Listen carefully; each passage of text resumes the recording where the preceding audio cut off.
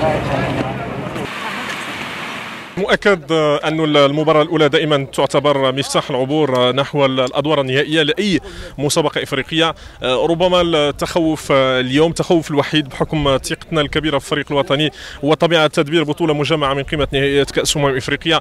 بطولة مجمعة يعني اللاعبين كيكونوا كيقضيوا فترة أطول ما بينهم في فندق إقامة بعيدا عن أجواء العائلة بعيدا عن التزاماتهم العائلية. وبالتالي طريقة تدبير ربما بعض المحطات وبعض الأزمات اللي كتوقع في أي منتخب وفي أي فريق في العالم لازم يتم تدبيرها بذكاء من طرف الطاقم التقني من طرف المسؤولين عن الفريق الوطني لكي نكون جاهزين للمباراة الأولى أمام ناميبيا. اليوم كرة القدم الإفريقية لا تعترف بالصغار لا يوجد أي صغير في كرة القدم الإفريقية. كل منتخبات كبيرة كل منتخبات عندها باع طويل في المنافسة. كل المنتخبات قادرة على الظهور بوجه قوي وذهاب بعيدا في نهائيات كأس أمم إفريقيا.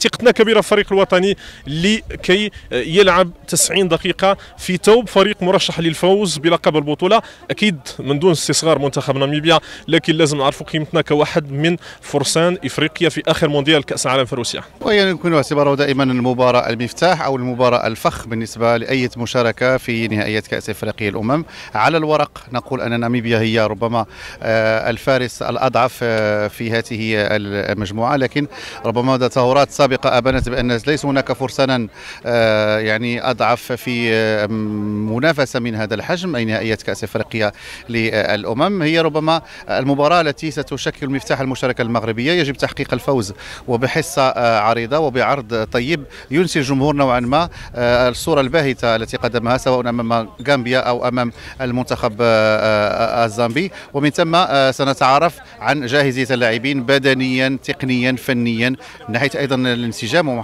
خصوصا التعامل مع حالة الطقس الحار الذي يعني يهيمن على العاصمة المصرية القاهرة. نعرف التوقيت رابعة والنصف وكلنا عشنا هذه الأيام الأخيرة حرارة مفرطة في هذا التوقيت.